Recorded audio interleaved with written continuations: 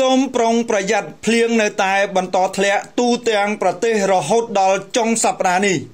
Boost Strong ឆ្ងាញ់រហូតឈ្នះពានរង្វាន់រសជាតិកំពូលឆ្ងាញ់ Superior Thai Over Boost Strong ក៏ទទួលបានមេដាយមាសគុណភាពល្អ5ឆ្នាំជាប់ជាប់គ្នា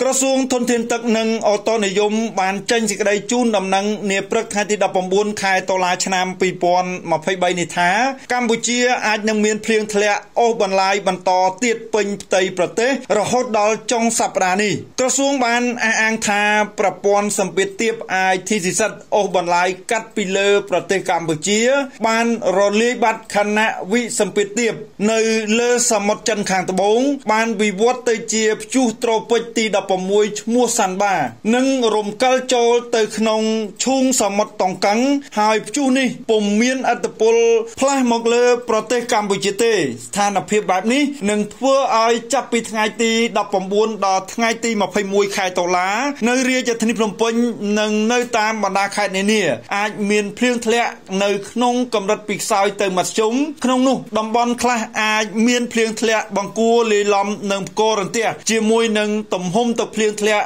គ្របដណ្ដប់លើផ្ទៃដីពី40%ទៅ50% Boost Strong ឆ្ងាញ់រហូតឈ្នះពានរង្វាន់រសជាតិកំពូលឆ្ងាញ់ Superior Thai Over Boost Strong ក៏ទទួលបានមេដាយមាសគុណភាពល្អ5ឆ្នាំជាប់ជាប់គ្នា